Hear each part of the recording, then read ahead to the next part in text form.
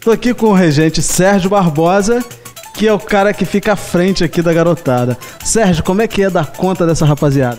É difícil. É uma trabalheira só porque são diversas idades, entre 12 e 20 anos, né? Diversas é, etapas né, de ensino, cada um deles com alguma técnica a quem, outro mais preparado, então é um trabalho muito difícil fazer trabalhar com eles, né? Como é que você faz para poder conseguir coordenar isso e dar uma harmonia na orquestra? Bem, a orquestra já existe há três anos, né? Então o primeiro ano foi um ano de mais de organização. Então quer dizer, a gente faz o preparo de prática de conjunto com eles.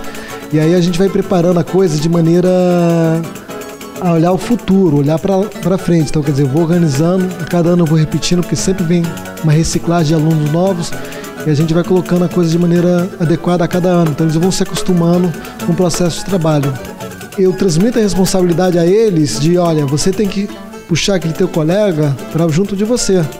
E você vai ser o professor dele substituto, na verdade. Né? Então, quer dizer, porque senão eu vou perder muito tempo ensinando aos jovens e acabo não fazendo o trabalho junto com a orquestra.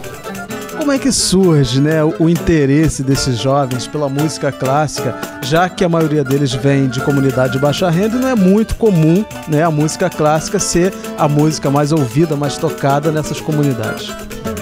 Primeiro, assim, é, realmente o, o, o, contato é muito importante, mas quando ele chega aqui, é, ofere é, é oferecida para ele uma música é, erudita, não chata. É oferecido uma música, por exemplo, uma é, marcha turca de Mozart é, com percussão, pegando toda aquela bagagem deles da, da, da, do conhecimento, né? Da, do samba. Aí você põe um samba, que você põe um baião, que você põe. Enfim, oferecida essa música clássica para. A gente tem os instrumentos para estudar aqui, tendo a necessidade, ele leva o instrumento para casa.